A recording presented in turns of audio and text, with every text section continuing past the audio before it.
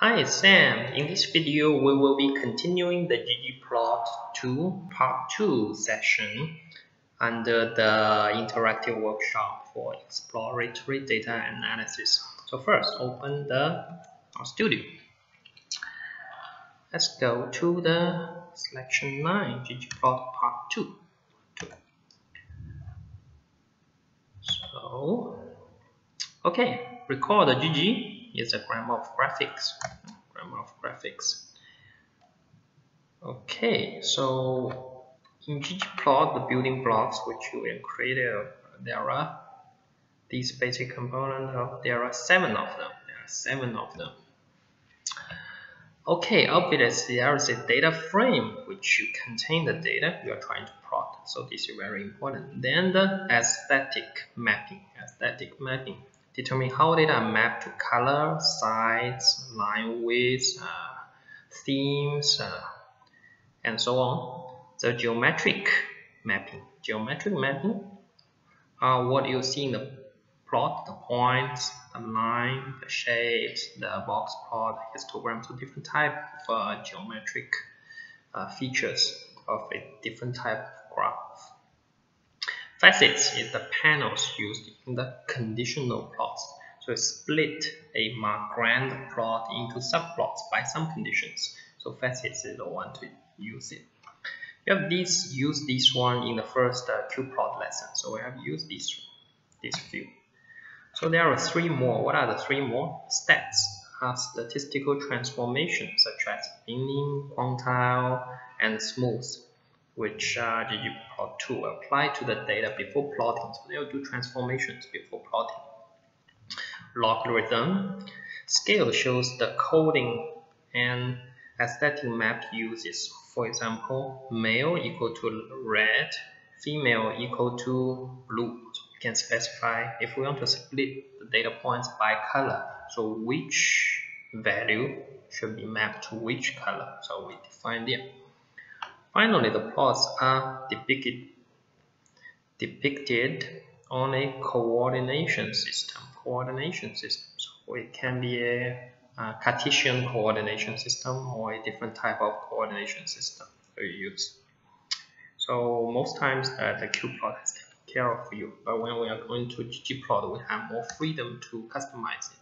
So let's look at. Now this is the palette which is uh, means in context plot. We mix paints, we draw pictures, things get messy. Plots are built up in layers. Mm. Plots are built in layers, layer by layer. So base plot, then we add some aesthetic uh, effects to it. Add a title, change the line width, change the color. In the base plotting system, in contrast to the lattice system, when building the plot with ggplot2, the plots are built up in layers, blah, blah, blah, blah, blah. Hmm. Okay, we'll keep using the MPG data. Record the versatile of the qplot. Five argument. First three deal with the data. Uh, first three will deal with the data. So write it. First three. The fourth one is geometry. Okay. So record a versatile. We can qplot now. Okay, we use a qplot to refresh. Remove the end. Need the end. Fourth one is the geom set to the concatenation of two string point and uh, concatenate our two strings. Point. And and small the fifth one is facet. Facet equals to formula. How many rows how many columns? One row three columns DRV has three distinctive values. Okay, let's see.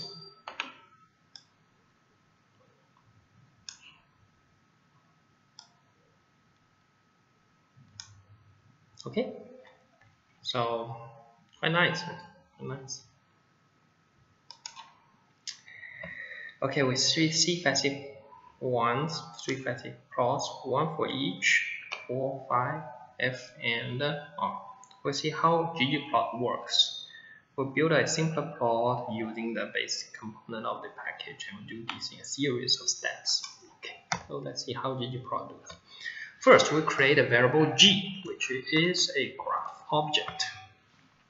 It's an output to a call of ggplot with two arguments so ggplot with two arguments. This is layer by layer concepts, so we do the basic things first.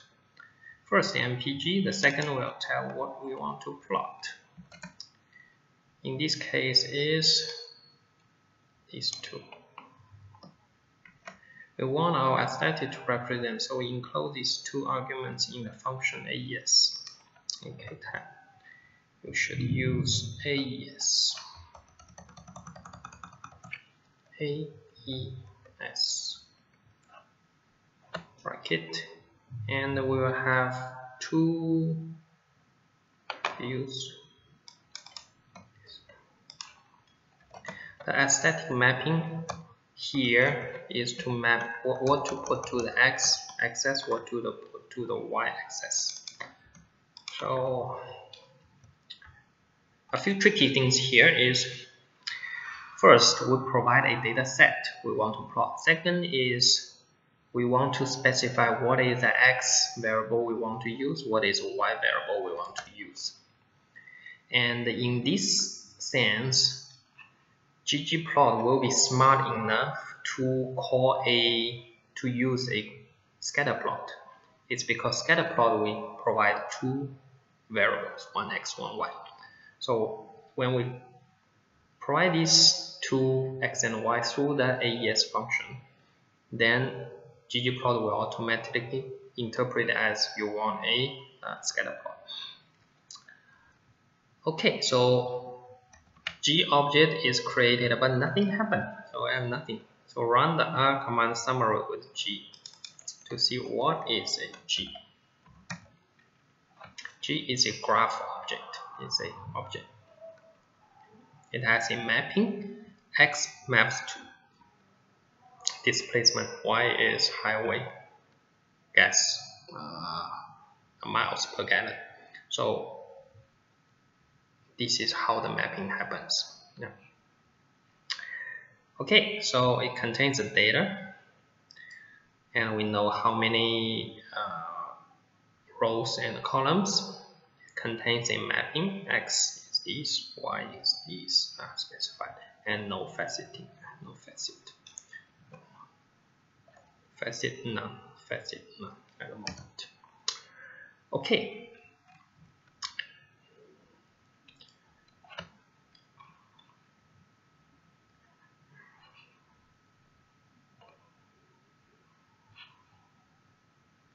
Now we want to say GG geometric equal to plot. So R recently R has some enhancement.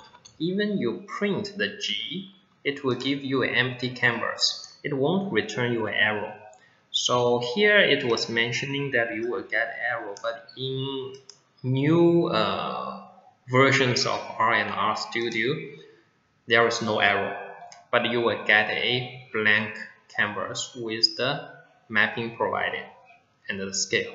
Mapping, how do we get the mapping? Because in the G, graph object, we provide an aesthetic x and y. So there will be no error Okay, now what we do is we say g plus geometric point.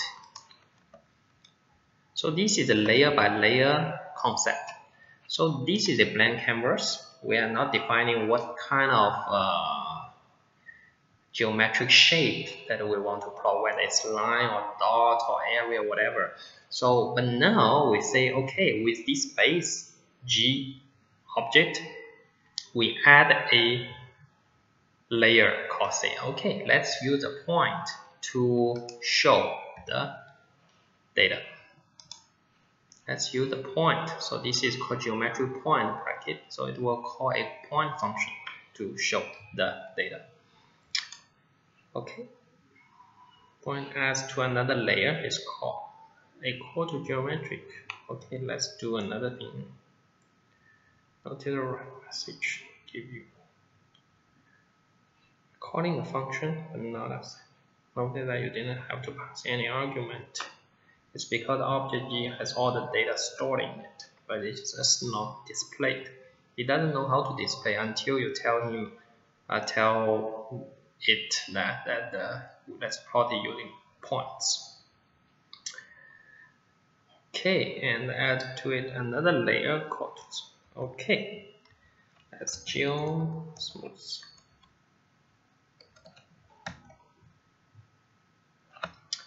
Not quite. Okay, let's do this.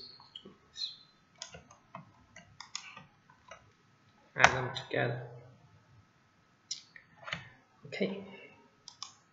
So in, uh, on top of the points that is displayed, we are layering another uh, layer, which is a smooth line with the gray colored uh, confidence interval.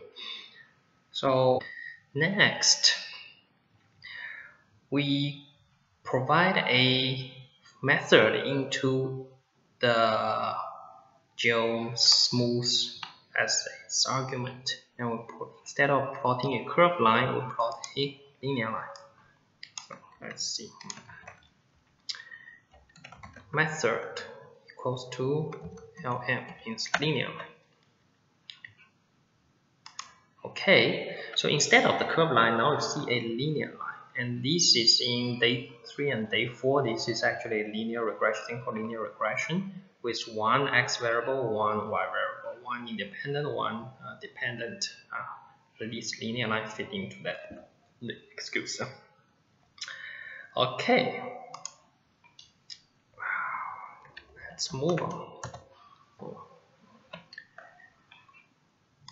okay now using the geometric point plus smooth linear line. Now we use the facet to partition the graph into three subgraphs. So on the right side of the tilt, there's only one row, and on the RV has three three values, so they have three columns, uh, three subgraphs.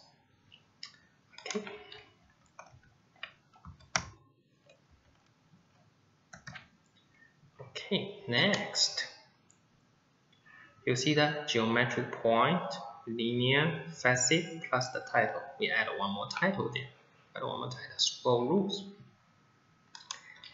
And what else we can do? Oh, now we are doing something different. Okay. For the function,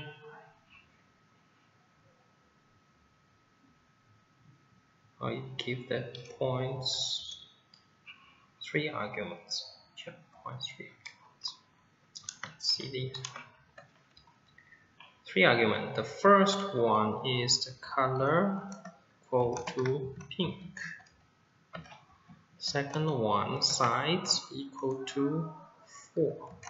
And the fourth one is uh, alpha. Alpha is the trans transparency. The transparency.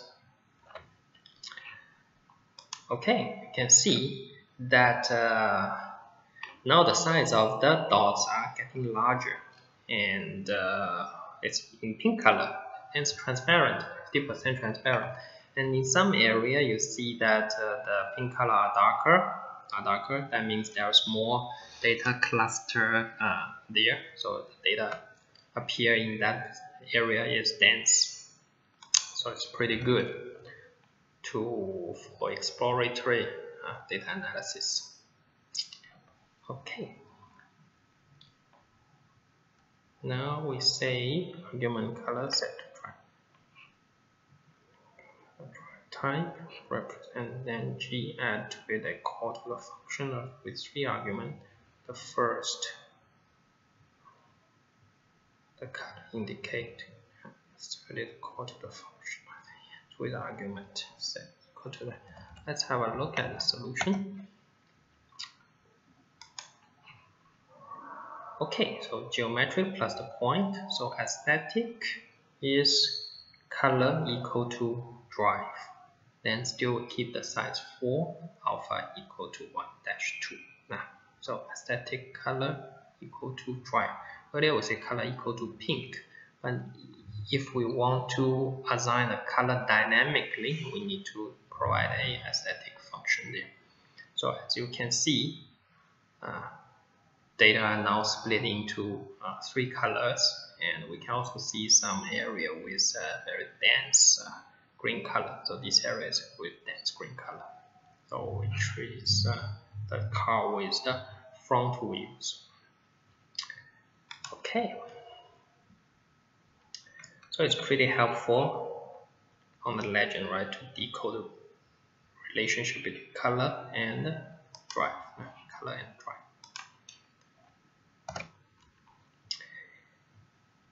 now we are protect, practicing the labels. And some labels there. Okay. So we keep the color same and we add the labels. The title should be the swirl rules and the labels for the x displacement and y is uh, mile h. So we replace the the label for the original variable name. Next is okay we keep all the things the same. Then we add a smooth line the size is equal to 4 so it's pretty uh, thick line type is equal to 3 that says also dot kind of dotted line method is linear so I use a linear line to fit it so SE equal to false okay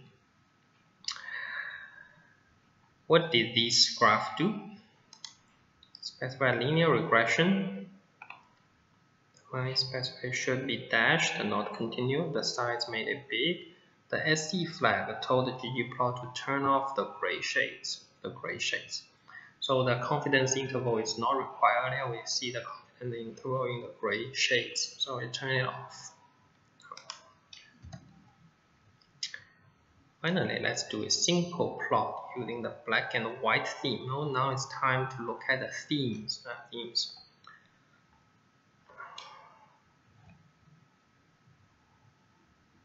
Okay. So we specify the theme black white base family times. So they have changed the theme. So now it's black and white. So this is called theme black and white. Okay, no more gray background. The font size also change. Our font, font also changed. So we look at the previous one. Larger. The previous one, the next one, next one, no, previous one, next one, previous one, next one, next one. Okay.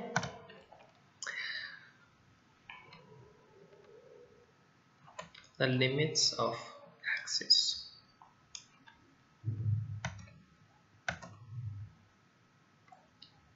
Okay, so long let's interpret the result.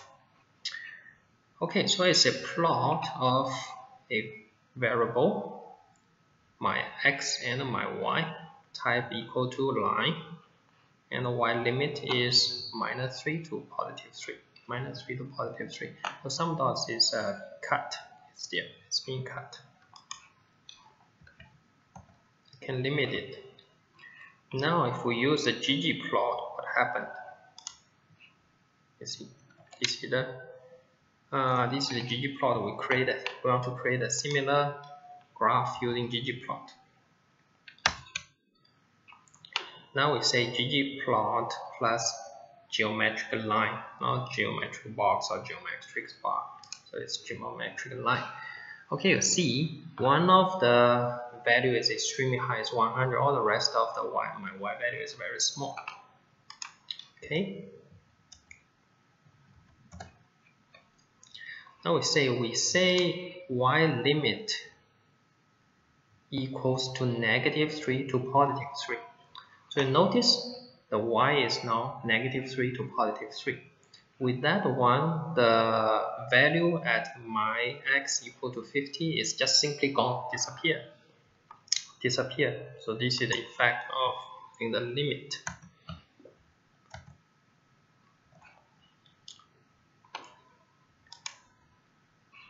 Okay, so entering the following answer.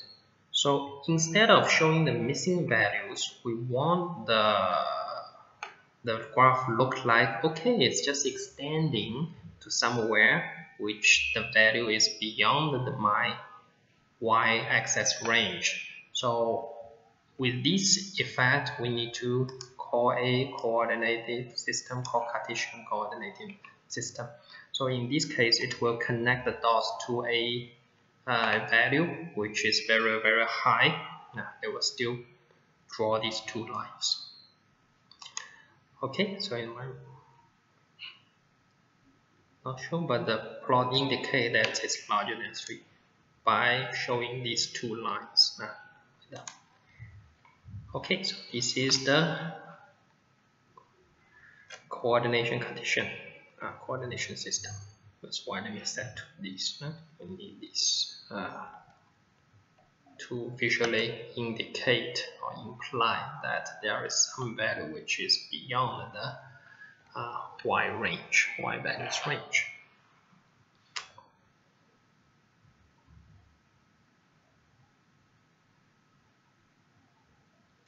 Okay, Start with creating the graphical object G by assigning it to a call to K. Let's interpret the result. So G, once we assign, nothing happened. So X displacement, Y, my age, color, facet by year. So we now uh, uh, use a different year to color the data points. G hasn't come. So type G, what will happen? It says R would return an arrow in red. So this is the answer we will continue, but in reality you have seen that if even uh, display the G uh, graph, there will be no arrow, just a blank canvas will show. So yeah, R has get upgraded. We'll build it step by step zero arguments. So now we show that show the points and it's split by factor year. Uh, so year 1999 and 1208. So we use a factor to convert the year from a number to a category. So these are years are being treated as category. Okay, category. So there will be two colors for two categories. Next.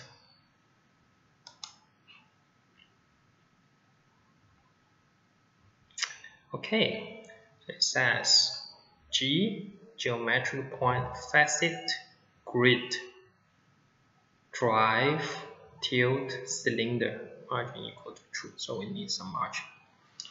So pretty fancy right? Pretty fancy. So on the left hand side which is DRV DRV has four FR.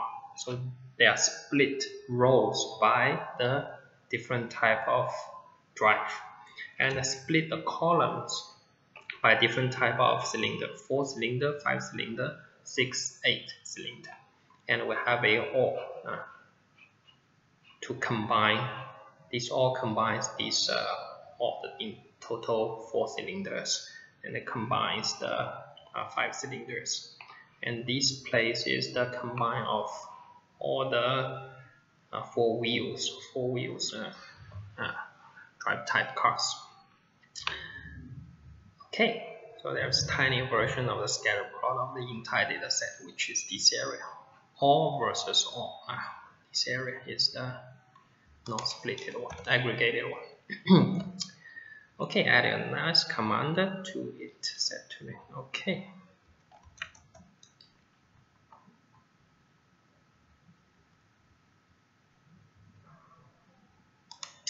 This is pretty fancy. Now. Now we are adding a linear regression lines to each of the uh, facet plots, subplots. Okay, now next we add the title title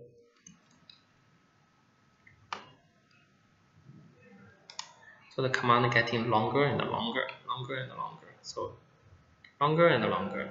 Point facet subgraph by drive and the cylinder. Then we add a smooth line which is linear and the width of it. Then we don't show the s equal to false we don't show the confidence interval. Then the color equal to black and the labels x label should be displacement y label should be highway mile age title is routes. Okay it's there's a legend for the color.